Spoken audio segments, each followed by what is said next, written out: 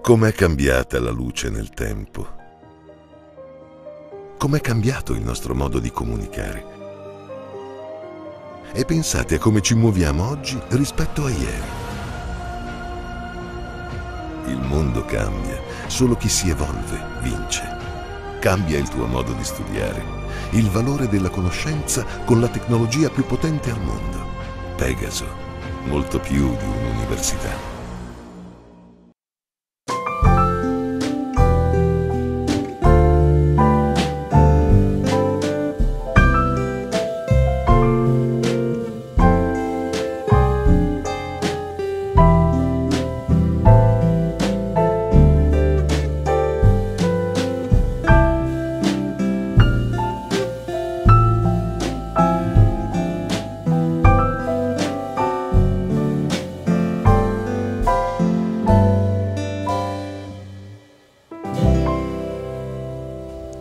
Siamo nel bellissimo e famoso chiostro dell'antica chiesa di Santa Chiara in Napoli che come ogni anno da tradizione la Università Telematica Pegaso sceglie come location, come luogo per lo scambio degli auguri natalizi con gli amici e con tutti i suoi collaboratori.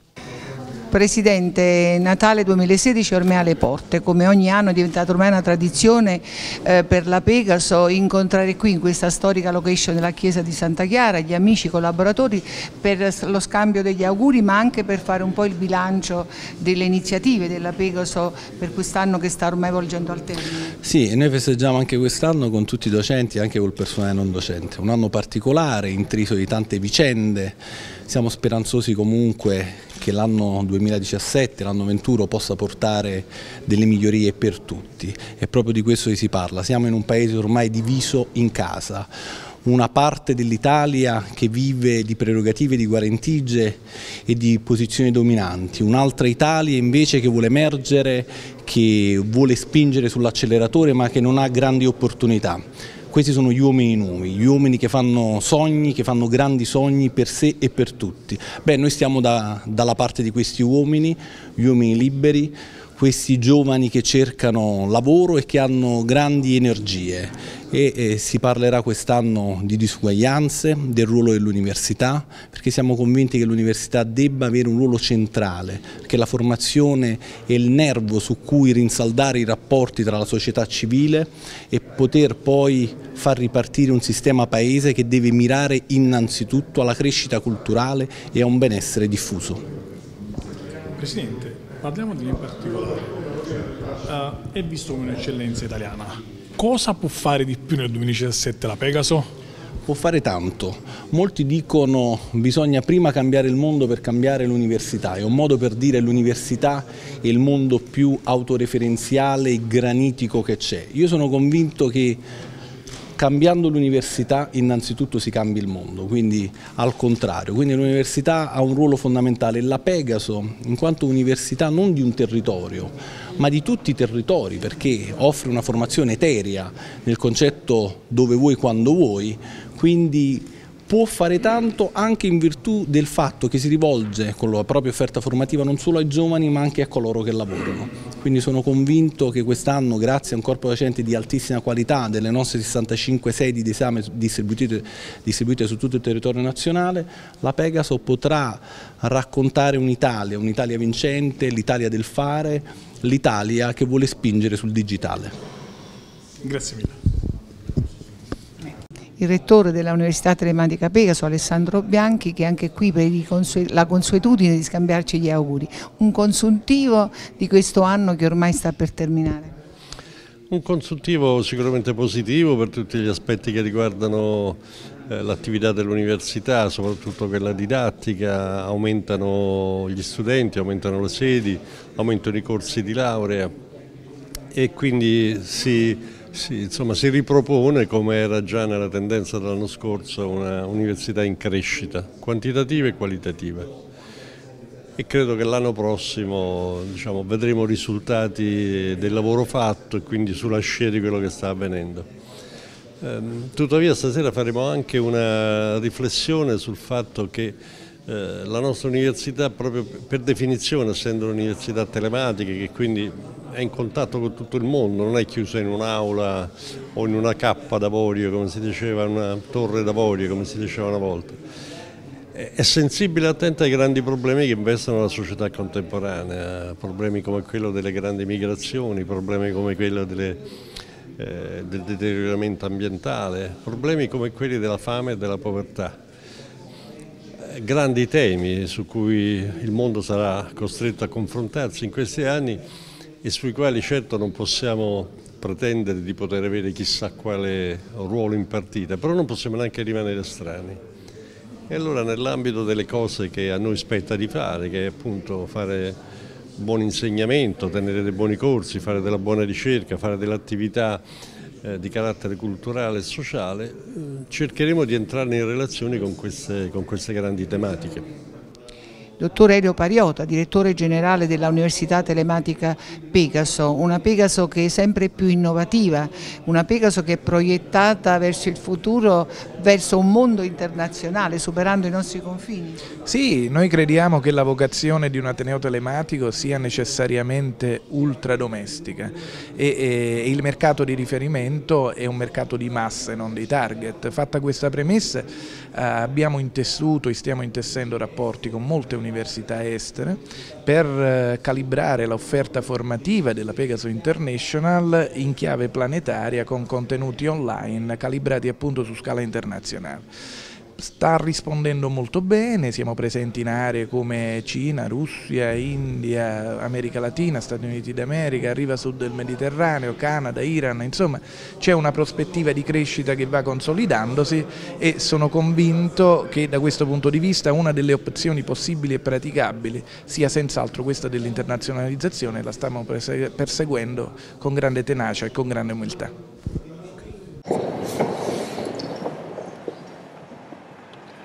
Autorità, Presidente Iervolino, colleghi docenti, personale tutto dell'Università Telematica Pegaso, signore e signori. Questo incontro natalizio è tradizionalmente un'occasione per l'Università Pegaso per parlare di sé e dell'attività che ha svolto nell'anno accademico trascorso e dire cosa si propone di fare in quello appena, appena iniziato, nella ricerca, nella didattica e negli eventi di carattere scientifico, culturale sociale che proponiamo. È in questo modo che la nostra università comunica con il suo intorno di riferimento, che trattandosi di una università telematica è certamente Napoli, vale a dire la sua comunità, ma è anche Roma e le altre 60 sedi diffuse sul territorio nazionale, ma in Europa e il mondo intero. E insomma quel mondo globalizzato che nell'arco di soli 60 anni è cambiato nel profondo. Sono cambiate le conoscenze scientifiche e le tecnologie, sono cambiate le relazioni fisiche e quelle economiche, i rapporti tra gli stati e quelli tra le persone i modi del lavoro e i modi della produzione. Sono cambiati i nostri rapporti con la natura e con la società. È cambiato perfino il nostro modo di pensare, di comunicare, in una parola di vivere. Un fenomeno, quello della globalizzazione, che osservato oggigiorno ha fatto fare passi da gigante all'umanità, in molti campi e in molte direzioni ma anche creare problemi nuovi di enorme entità, che basta guardarci, guardare a cosa accade attorno a noi ogni giorno, siamo ben lungi dal saper risolvere. È per questo motivo che mi sono chiesto se in questa occasione non avrei potuto, forse dovuto, lasciare per un momento in disparte numeri e racconti, tutti interni al mondo accademico, e aprire qualche riflessione su quello che accade intorno a noi e al di fondo. Credo peraltro che questo sia in coerenza con quella che l'Università Pegaso ha assunto fin dall'inizio come sua missione, quella di non essere una torre eburnea di stampo vetero accademico chiusa in se stessa, ma esattamente il contrario, un sistema aperto e dialogante, dialogante col suo intorno, ossia, come abbiamo appena detto, con il mondo intero. Ecco perché ho pensato di dedicare queste mie brevi considerazioni a ricordare a tutti noi che cosa accade di fuori di noi e soprattutto con quali grandi sfide il mondo in cui viviamo avrà a che fare nell'immediato futuro. A mio parere sono tre queste grandi sfide. La prima è la sfida ambientale, vale a dire la sfida contro i mutamenti climatici, contro il consumo energetico, contro l'inquinamento. I dati di cui oggi noi disponiamo su questi punti è che per questi aspetti il mondo sta andando verso un punto di rottura. Il riscaldamento globale, che è la causa prima di mutamenti climatici, sta creando fenomeni sempre più evidenti e disastrosi, dallo scioglimento di ghiacci nelle calotte polari fino alla desertificazione di immensi territori. Il consumo energetico è ancora affidato per la gran parte ai combustibili fossili, ossia quelli che generano le più pericolose emissioni gassose. L'inquinamento dell'aria, dell'acqua e del suolo stanno deteriorando ogni giorno di più la qualità della vita, soprattutto nelle grandi aree urbane. A dicembre dello scorso anno a Parigi 197 Stati hanno sottoscritto un accordo per il contenimento del riscaldamento del pianeta sotto i 2 gradi, considerato un limite non valicabile. Ma le misure alternative tendono ad arrivare, come abbiamo visto dagli esiti della recente conferenza di Marrakech, e un grande interrogativo si è aperto sulla posizione che assumerà su questo tema nuova amministrazione degli Stati Uniti. Si tratta dunque di una questione vitale, vitale ma complessa e difficile da affrontare, che richiederà grande attenzione e grande impegno di tutti e a tutti i livelli. La seconda grande sfida è quella della povertà e della fame. Nel settembre del 2000 l'Assemblea generale delle Nazioni Unite approvò un solenne Millennium Declaration, dichiarazione per l'intero millennio, con la quale impegnava tutti gli Stati a dimezzare entro il 2015 il numero di poveri e di affamati nel mondo, che nel 1990 erano circa 3 miliardi. Vale a dire che 3 miliardi di persone vivevano con meno di 2 dollari al giorno e con alti livelli di denutrizione. Quel risultato, quell'obiettivo è stato in parte raggiunto, con una diminuzione complessiva di circa un miliardo di persone che vivevano in quelle condizioni. Ma l'aspetto più sconcertante e drammatico è che la diminuzione non c'è stata proprio nell'area maggiormente afflitta da quel fenomeno, vale a dire l'Africa subsahariana. Lì, a causa di un aumento tumultuoso della popolazione, negli ultimi 15 anni i poveri e gli affamati sono aumentati di circa 170 milioni.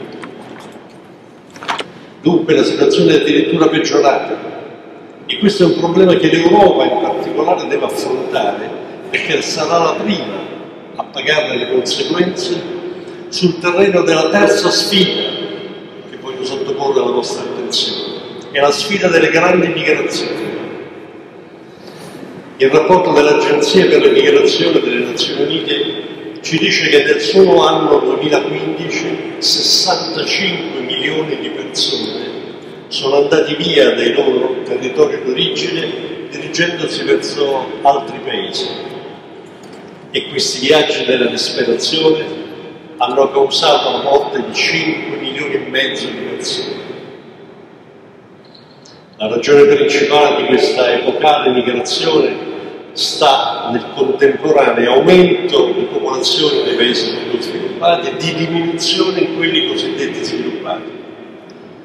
Il caso più eclatante che possiamo vedere è quello tra l'Africa e l'Europa. Fino al 1950 la popolazione dell'Europa era più del doppio di quella dell'Africa, 500 più milioni contro 200. Oggi, attualmente, la popolazione dell'Africa che è un miliardo e 200 milioni di persone, è quasi il doppio di quello dell'Europa. e nel 2050, vale a dire tra pochi anni, quando arriverà a 2 miliardi e mezzo di persone sarà più del 3. In sostanza è in corso un completo capovolgimento dei pesi demografici che unitamente ad altri fenomeni, le guerre, le persecuzioni razziali e religiose, la povertà e la fame di cui abbiamo appena detto, avranno come conseguenza ulteriori massicce migrazioni dal continente africano verso quello europeo. I provvedimenti che finora ha posto in essere l'Unione Europea sono palesemente inadeguati e bisognerà essere consapevoli che la mancata soluzione di questo problema pone una seria ipoteca all'essenza stessa della civiltà europea. Sono queste dunque per sommi capi le grandi sfide che attendono il mondo intero e quello che circonda noi più da vicino in particolare. È del tutto evidente che si tratta di sfide di dimensioni tali da essere fuori dalla portata di ciò che può fare la nostra come qualsiasi università. Ma è altrettanto evidente che si tratta di questioni che non solo non possiamo ignorare, ma di fronte alle quali non possiamo rimanere inerti. Allora la domanda è in che modo come università possiamo giocare un ruolo in questa gigantesca partita? Direi sull'unico terreno che a noi è accessibile, quello della cultura, che vuol dire fare in modo che in tutto quello che facciamo, in tutto quello che faremo qui davanti, sia presente la consapevolezza di quello che accade nel macrocosmo in cui siamo immersi e la convinzione di voler svolgere un ruolo a partire dal sia pur piccolo nostro microcosmo. Possiamo farlo ad esempio offrendo alcuni particolari profili formativi. Sul tema delle migrazioni abbiamo già attivo collegamento con l'Istituto Orientale il Fondo Jean Monnet e sui temi ambientali abbiamo una scuola di rigenerazione ambientale. Bene, dobbiamo potenziare queste realtà e aggiungerne altre, come quella ad esempio che riguardano gli studi demografici. Possiamo farlo anche orientando alcuni filoni di ricerca. Da questo punto di vista il nostro potenziale è notevole, dato che abbiamo quasi 100 tra professori e ricercatori che portano avanti annualmente i loro progetti di ricerca. Bene, dobbiamo coordinare forse meglio questa grande massa di attività e incanalarla lungo dei filoni attinenti anche alle tematiche a cui ho fatto cenno. Possiamo farlo infine con le nostre attività di rilevanza esterna, vale a dire i convegni, i seminari, le lezioni magistrali, forum, social, insomma tutto quello che ci permette di entrare in contatto e dialogare con il nostro intorno di riferimento. Le attività di questo tipo che la nostra università svolge in tutte le sedi, a cominciare da Napoli e Roma, sono numerosissime. Probabilmente dobbiamo cercare di rendere più sistematiche e riconoscibili e anche in questo caso orientarle su alcuni filoni predefiniti. La nostra carta vincente sarà ancora una volta la vocazione alla comunicazione a distanza, la dimestichezza con il mondo web e la disponibilità di una piattaforma telematica tra le più avanzate in campo nazionale. Grazie a questa attitudine e a questo potenziale credo che potremo giocare un ruolo propositivo e significativo nelle difficili partite di cui ho parlato. Bene, queste sono le brevi, forse anche rituali, mi auguro non inutili considerazioni che ho pensato di svolgere in questa occasione. E nel ringraziare per l'attenzione che mi avete prestato, formulo a tutti i più sentiti auguri di buon Natale e per un felice e proficuo 2017.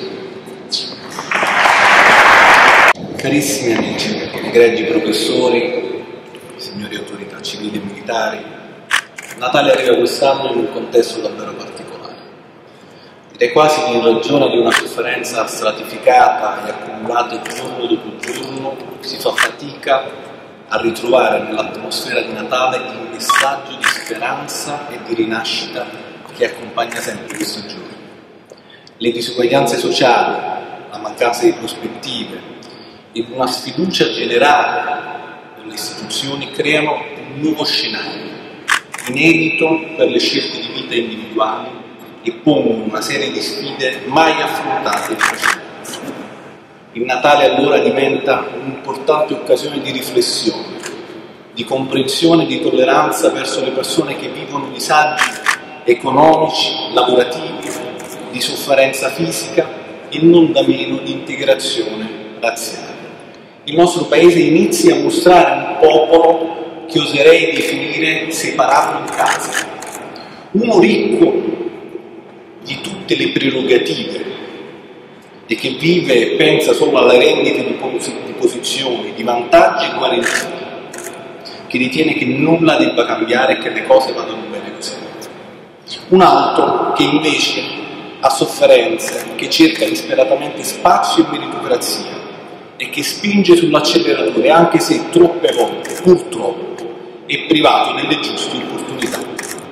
Ecco, io sto con questi ultimi, con gli uomini nuovi, con quelli che hanno soldi, anzi grandi soldi, per sé e per tutti.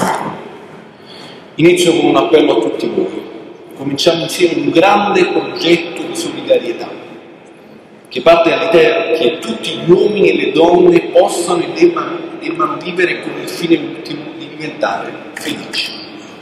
Partiamo col creare un'università aperta, democratica, che possa dare fiducia a tutti, senza avvantaggiare solo una certa elite sociale, senza la volontà più o meno dichiarata di ammaliarsi i centri di potere, ma al contrario che possa dare riconoscenza e valore a coloro che hanno in visione e che credono nel sistema paese e sono determinati a conquistare il mondo e a condividerne le cose più belle anche con gli altri.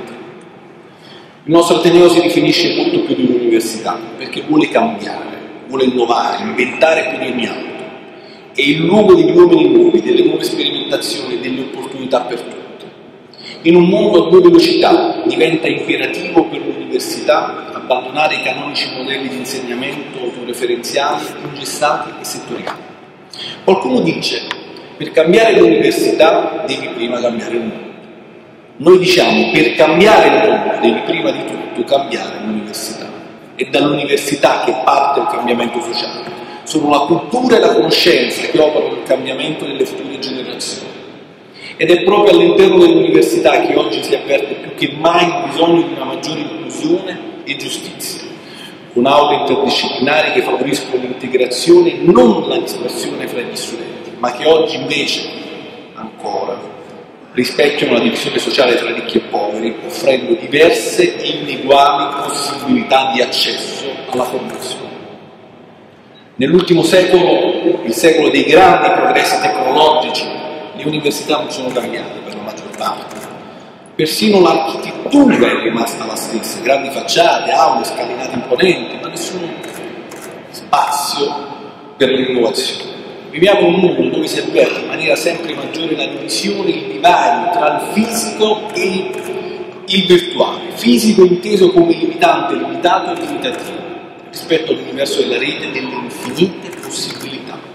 L'università probabilmente mai come oggi, nella sua storia di istituzione millenaria, ha avuto la necessità impellente, se non l'obbligo, di operare così tanti cambiamenti in così breve tempo. Mai come ora l'apprendimento deve piegare verso saperi di formazione più flessibili ed adatti all'ecosistema sociale, incalzato da un'accelerazione tecnologica ogni giorno più spinta. E la nostra, amici, è proprio questa, l'Università del Cambiamento.